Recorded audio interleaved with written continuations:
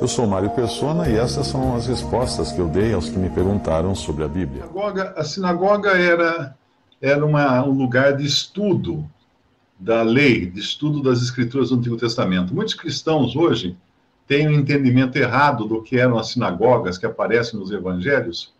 Elas não existiam no Antigo Testamento, elas foram surgindo depois, eu acredito até, não, não tenho certeza, mas naquele intervalo de 400 anos que nós temos de, de silêncio nas Escrituras, o, o, intervalo que precede os Evangelhos.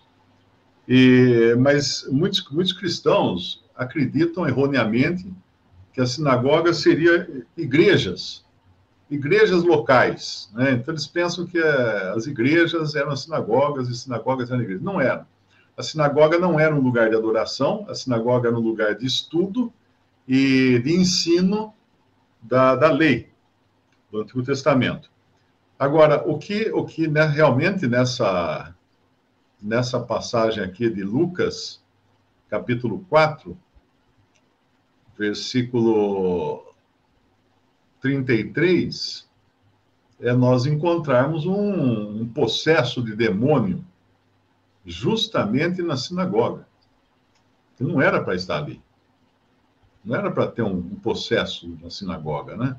A sinagoga era o lugar de, de cuidar das coisas do Senhor. Mas o Estado de Israel, naquela época, a condição dos judeus estava tão ruim, mas tão ruim, que ele já até tinha uh, avisado, dado uma indireta direta, né, para eles um pouco antes, quando ele contou dois casos. Depois que ele fala que nenhum profeta é bem recebido na sua pátria, no versículo 24, ele vai contar de dois casos: da viúva, né, de uma viúva de Sarepta, Sarepta de Sidom, Sidom, uma mulher viúva, a quem Elias foi enviado. Elias foi um dos grandes profetas do Antigo Testamento. E o leproso Naamã, a quem Eliseu foi dada a missão de, de mostrar o caminho da cura da sua lepra. Elias e Eliseu eram os dois grandes profetas do Antigo Testamento que não, não profetizaram uh, em Judá. Eles não trabalharam entre os judeus, eles trabalharam entre as dez tribos que estavam dispersas por Samaria, que foi aquela divisão que tinha acontecido. Duas tribos ficaram em Jerusalém dez tribos ficaram uh, no norte, não é? E isso demonstra o seguinte: o Senhor, mesmo tendo entrado aquela divisão, acho que era Jeroboão, se não me engano, uh, mesmo tendo entrado aquela divisão que, que arruinou ali o, o povo de Israel, né? Causou uma uma, uma, uma fresta em Israel, uma rachadura no povo de Israel. E mesmo tendo acontecido isso, o Senhor não abandonou o seu povo. Porque na divisão havia também aqueles que eram fiéis ao Senhor, que temiam ao Senhor. Nós encontramos que até tem um episódio em que Elias se acha muita coisa, né? E o Senhor avisa ele que tinha muitos joelhos que não tinham se dobrado a Baal, ali, na, ali em Samaria, mostrando que havia povo de Deus lá na, entre as dez tribos também. Então, uh, esse, esse evento mostra o cuidado do Senhor para com os seus.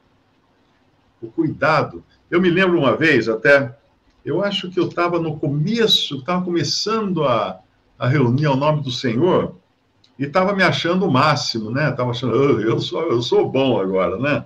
Os outros cristãos aí, essa, essas gentalhas aí nas denominações, né? Não estão com nada e tal. Aí um irmão mais velho, um irmão dos Estados Unidos, uh, veio para mim e falou para mim, falou assim, olha, falou de Elias e de Eliseu. Ele falou assim, eles não estavam, não estavam no centro que Deus determinou, porque o centro de adoração era, era Jerusalém. Estavam fora do centro divino de, de reunião e de adoração, que era Jerusalém. E, no entanto, Deus não abandona o seu povo. Ele, ele proveu para eles dois dos grandes profetas para poder continuar dando assistência a essas tribos que estavam separadas do lugar divino de reunião. Isso é uma lição para nós entendermos também, que a igreja como um todo, ela pode estar despedaçada no seu testemunho exterior, com muitas divisões, com muitas denominações, mas o Senhor não abandona o seu povo. Então, em cada dessas, pode ser lá o, o, aquele pregador mais ganancioso do mundo, mas quando ele abre a Bíblia, a Bíblia é a palavra de Deus. O Senhor vai alimentar aquelas almas através da sua palavra. Pode ser um pregador até incrédulo, pode ser que nem, nem seja crente, pode ser um, um balaão da vida aí, né? Aquele falso profeta. Mas o Senhor vai, vai usá-lo para alimentar o seu povo. Esse, é, essa é a maravilha do, do, do Deus que nós temos. Ele não abandona o seu povo onde quer que esteja. Então, aqueles irmãos e irmãs que às vezes estão chegando agora, começando a congregar uh, somente ao nome do Senhor, e, e, se sentindo também como eu me senti né, no, lá, lá atrás, anos atrás, como se fosse a última bolacha do pacote, abaixa a bola, abaixa a bola porque não, não é não. Não é não. O Senhor cuida dos seus, onde, onde quer que eles estejam. Eles são privados de muitas coisas, isso é evidente, não é? Porque estão no lugar errado, sendo ensinados da maneira errada e tudo mais, mas o Senhor cuida do seu rebanho. Ele não abandona o seu rebanho. Isso é importante a gente entender para a gente se humilhar, né? não achar que, que a grande coisa não é a graça. A graça nos salvou, a graça nos mantém, a graça guia nossos passos. Tudo é a graça. A graça do Senhor. Nada vem de nós, nem, nenhum de nós foi mais esperto, porque um dia era pecador e falava assim: Ah, eu sou pecador, preciso ser salvo. Ah, eu sou esperto porque eu descobri isso. Descobriu nada, cara. Foi o Espírito Santo que tocou seu coração. Nada sobra na nossa conta de positivo, né? De falar assim: não, o Mário foi um cara legal, por isso que ele se converteu. Não é nada, que legal nada. Ninguém é legal, coisa nenhuma. Ninguém tem uma grande sacada um dia, fala assim, uh, alcancei os píncaros do, do saber e do conhecimento, e agora então vou ser cristão. vai, vai nessa, vai. Então, então nós, vamos, nós vamos encontrar aqui que o Senhor já deu uma direta indireta neles, né? uma indireta direta, um pouco antes, deixando muito claro para eles que o Senhor ia, uh, uh, estava cuidando justamente de duas classes de pessoas que eram o mais baixo nível dos judeus. Quais eram? Uma mulher gentia. A mulher já era considerada um nível abaixo, né? Dentro daquela cultura uh, daquela época. E, e mais uma gentia, como nós vemos a mulher samaritana, com a qual os discípulos não, não, não queriam conversar com ela. Né? O Senhor conversa com ela, mas os discípulos ficaram meio pé atrás. Porque, porque um, um gentil era considerado um povo impuro. Então foi a uma mulher gentia, lá de, de Sarepta, uma viúva ainda, uma viúva é, é, a pior condição que podia haver naquela época. É a mulher mais abandonada possível. Não, é? não tem, ela não tem mais o marido dela para dar o, o sustento para ela. Não tinha não tinha INP, INSS na época, não tinha aposentadoria, nada disso. E o outro, o outro ser abominável era o leproso. O leproso, o leproso também era considerado pelos judeus como uma pessoa de quinta categoria, porque a lepra é uma figura do pecado. Nós sabemos disso, que a lepra é uma figura do pecado. E esse leproso, Naamã, além de ser inimigo, olha só, ele era inimigo. A menina que o avisa da, do profeta Eliseu era uma escrava que foi provavelmente roubada durante uma das guerras, uma das batalhas que Naamã teve com o povo de Israel. Essa menina foi roubada, foi sequestrada e levada para trabalhar de serva na casa dele. E é ela quem o avisa desse, desse profeta Eliseu, que poderia mostrar a ele o caminho da sua libertação da sua lepra. Então, essas duas pessoas mais improváveis são aquelas que o Senhor, que, que o Senhor mandou profetas para cuidar delas.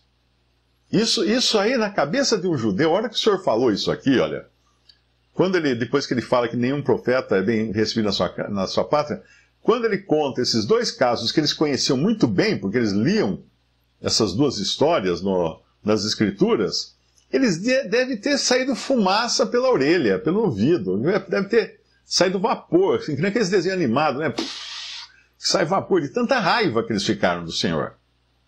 Ah, lá no versículo 28 fala: E todos na sinagoga, ouvindo essas coisas, se encheram de ira.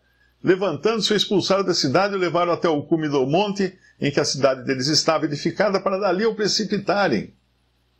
Ele, porém, passando pelo meio deles, retirou-se. Ali nós vimos o poder divino, né? o poder do Senhor. O mesmo poder que aquele que, quando ele fala para os soldados que vão prendê-lo, lá no Monte das Oliveiras, que pergunta: uh, Você é o Cristo? Né? Ele fala assim: Eu sou. Blum. Cai de costas. Cai de costas. Porque ali estava aquele que tinha o poder emanava dele. Quando aquela mulher tocou, veio por trás e tocou a sua roupa, ele fala: saiu, saiu o poder de mim. Gente, o que, que, é isso? Você entra no metrô, você nunca, nunca imagina que está saindo poder de você. Aquele ser santo, puro, era o mesmo Deus Todo-Poderoso. Ele veio ao mundo em carne, mas nunca ele deixou de ser Deus. Nunca ele deixou todos os atributos divinos que ele tinha. Ele estava como que oculto aos olhos do homem, mas ali havia o Criador. Por isso que tem aquela passagem que fala que ninguém, uh, ninguém conhece o, o filho, senão, que ninguém conhece o pai, senão o filho. E a este é quem o, o filho quiser revelar. Né? Revelar o pai. Mas ninguém conhece o filho, senão o pai. Para aí. Não fala que o pai revela o filho. Porque é impossível uma cabeça humana, uma mente humana, uh, entender quem é o filho. Nós cremos em Jesus, nós amamos Jesus, nosso Senhor, nós o adoramos, nós louvamos, mas nós não entendemos. Não pense que você vai conseguir entender o Senhor Jesus, porque não. É Deus e homem. É, é muita coisa. É um, é um transatlântico dentro de um, de um Dolphine. Ainda existe Dolphine? Acho que a geração mais, mais nova não, não conhece. Né? É um transatlântico dentro de um Fiat 147, vamos falar assim, né? É muita coisa para a cabeça humana. E Mas aí está esse homem. E agora ele entra na sinagoga, e o que tem na sinagoga? O que devia ter na sinagoga? Devia ser um lugar de estudo, de oração e de conhecimento, de aprendizado da, da palavra de Deus, da lei, né? E estava na sinagoga o quê? Um homem que tinha o espírito de um demônio imundo. Essa era a condição de Israel naquele momento. Essa era a condição. Tanto é que é uma coisa interessante que você observa na Bíblia é que no Antigo Testamento nós quase não vemos manifestações demoníacas. Muito raramente. Nós vemos lá no caso, era um, um espírito maligno que o Senhor permitiu que entrasse em Saul, que atormentasse Saul, não é? E tem mais algum caso, eu não me lembro todos agora, mas é muito pouco. De repente, você entra no Evangelho, tem demônio e espírito maligno para todo lado. Por que isso? Porque o Filho de Deus estava no mundo. As, as potestades espirituais da malignidade não, não podiam suportar, ficaram todos uriçados. Ficaram todos uriçados. Até um deles fala, né? Vieste, vieste uh, destruir-nos antes do tempo. É um outro, acho que é outro versículo, não é nesse capítulo. É no outro versículo, no outro, numa outra passagem, no outro evangelho viesse antes do tempo, porque eles, eles sabiam que a hora que viesse esse filho, filho de Deus, feito homem, eles estavam roubados. Então toda essa manifestação demoníaca que acontece nos evangelhos e acontece também no princípio da igreja, ela se estende, porque agora os demônios estão ouriçados. Satanás e os seus anjos estão por conta, né? Estão por conta, porque eles sabem que seus dias estão contados. E eles atuam, então, nós encontramos geralmente espíritos malignos e demônios, que a Bíblia parece ser a mesma, o mesmo tipo de entidade. Eles têm uma característica. Eles precisam de um corpo para se manifestarem. Você vai observar isso nos evangelhos. O, o, o espírito maligno, também chamado demônio, ele, ele possui um corpo para então ele poder agir. Já um anjo não precisa disso. Nós encontramos no Antigo Testamento os anjos tomando forma humana. Eles não precisam possuir ninguém. O único anjo que, que possuiu alguém foi Satanás, que é um querubim, que entrou em, em entrou no traidor, né?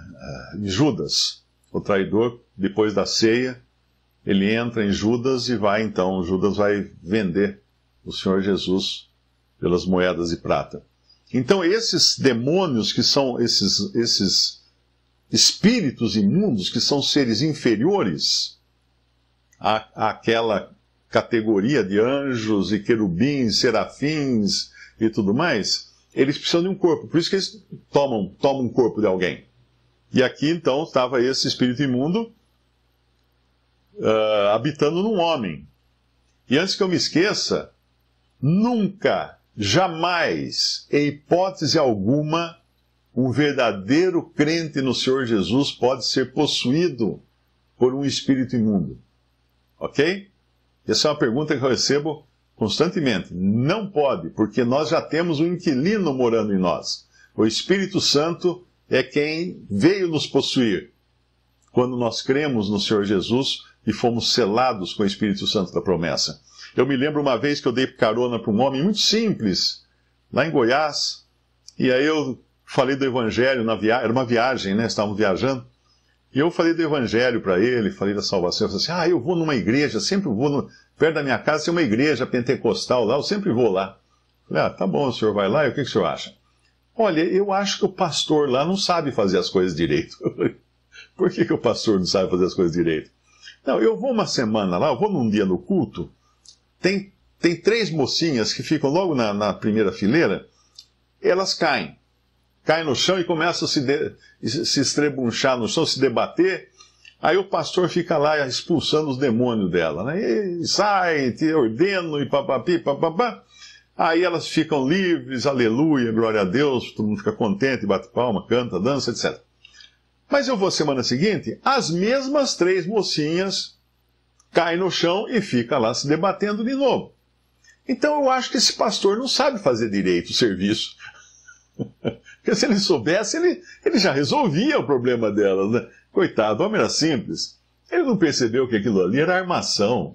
Aquilo era tudo combinado. Porque aquelas três mocinhas, se elas fossem realmente crentes em Cristo, primeiro que elas não iam entrar nessa armação, não é? E segundo, que elas não, jamais poderiam ficar possessas. Então, o que muito se vê nesses meios são ataques de histeria também, né? Aquela gritaria, aquele som alto, gente gritando, gente uivando, aquela... isso aí causa também uma, um negócio chamado histeria, ataque de histeria. As pessoas entram numa espécie de hipnotismo, né? Então, uh, não, é desse, não é dessa possessão demoníaca que nós estamos falando aqui. Aqui é uma real. É uma possessão demoníaca real. Mas existia um homem demoniado dentro da sinagoga, era, depois das, das duas histórias que o senhor conta, da, da mulher gentia sendo ajudada por um profeta e do homem uh, do homem uh, leproso sendo ajudado por outro, só faltava essa agora, né? um, um endemoniado dentro da sinagoga, que era o lugar de oração, lugar de, de leitura da, das escrituras. Aí esse estava na sinagoga um homem que tinha o espírito de um demônio imundo, exclamou em alta voz, dizendo: Ah, que temos nós contigo, Jesus Nazareno. Uma outra coisa aqui a ser, lembrada. Os únicos na Bíblia que se dirigem a Jesus falam para ele, sem chamá-lo de Senhor, são os demônios. Jesus! Os demônios. Os discípulos falavam com o Senhor Jesus, falando assim: Senhor Jesus, lembre-se sempre disso. Não tem problema quando os, quando os escritores dos evangelhos falam assim: Jesus foi a Galiléia, Jesus desceu a Jerusalém, então, porque eles estão narrando. Mas no momento em que eles se dirigem a Ele, jamais eles fazem isso sem colocar Senhor na frente. Os demônios, sim. Essa é a diferença. Os demônios não usam Senhor na frente do nome de Jesus, porque eles não não não não se submetem a ele como Senhor, a ele como Senhor, como um crente se submete. Então aprenda isso. Quando você vai em algum lugar, estão pregando lá, alguém vai orar e fala assim: Ó oh, Jesus, eu te adoro, Jesus me ajuda aqui, Jesus me ajuda ali. Isso está errado. Isso é falta de respeito para com o Senhor. É como, é como ah, vamos dar um exemplo aqui. É um médico, né? Eu vou ao médico, eu chamo o médico de doutor. Olha, doutor, eu não sei alguns que eu conheço desde a infância, esses eu chamo pelo, pelo primeiro nome, né? Mas se eu não é um médico que eu conheço, eu vou chamá-lo de doutor, ou doutor Antônio. Está doendo aqui, está doendo ali. Eu vou falar e chamar de doutor. Porque é uma questão de respeito, de, de, de, de compreender e reconhecer a posição que ele tem em relação a mim. Da mesma maneira, nunca caberia a um crente chamar Jesus de Jesus. Tem que chamá-lo de Senhor Jesus. Vai orar a ele, Senhor Jesus. Essa é a maneira correta de fazer. Mas você não vai encontrar isso nesse bagunça que está a cristandade hoje, que tá, chamam de, da maneira, o amigão lá de cima, umas coisas assim que falam, meu Deus, o que, que, é isso? Isso é de quem não conhece realmente, com quem que ele está lidando. Com quem, com quem ele está lidando. Falta de, falta de instrução né, na palavra de Deus e falta de respeito. Mas aqui os demônios, sim, os demônios não têm essa de, de colocar Senhor na frente, não. Ah, aqui temos nós contigo, Jesus Nazareno que temos nós contigo, Jesus Nazareno, vieste a destruir-nos, bem sei quem és, o Santo de Deus. Veja que os homens não eram capazes de identificar ali o Santo de Deus. Os demônios eram. Que, que estado mais lamentável, mais triste que Israel estava, que eles precisavam aprender com demônios. Quem era aquele homem que estava ali na, no meio deles? Os demônios eram capazes de ensinar os israelitas que aquele era o Santo de Deus, o Messias de Israel, o Filho de Deus encarnado. Mas o Senhor não dá, não dá, não dá moleza para o demônio, não. Ao contrário desses pastores de Araque da TV, que ficam entrevistando possessos, né? Com o microfone, assim, como é que é seu nome? Gente, isso não, isso não existe. Isso é, isso é a mais horrenda picaretagem que você pode imaginar. Aquilo ali é para chamar atenção, para conseguir mais dinheiro, para pedir mais dinheiro. Fuja dessas coisas. O Senhor não, não conversa, não entrevista. Jesus o repreendeu, dizendo: cala-te e sai dele. Cala-te e sai dele. E o demônio lançando-o por terra, lançando o homem que estava possesso por terra, no meio do povo, saiu dele sem lhe fazer mal. Essa é a autoridade do Senhor. Essa é a autoridade. E Jesus, uh, e, veio, e veio espanto sobre todos, e falavam uns aos outros, uns com os outros, dizendo: Que palavra é esta? Que até os, os espíritos imundos manda com autoridade e poder, e eles saem? E a sua fama divulgava-se por todos os lugares em redor daquela, daquela comarca. Esse é o Senhor. Ele entrava e resolvia. No meio de um Israel corrompido, com tudo que havia de errado, ainda assim, depois do que fizeram com ele, da rejeição que ele teve, um pouco antes aqui nesse texto, ele podia chegar na sinagoga e falar assim: ah, tem um homem demoniado aí, vocês se virem. Mas não.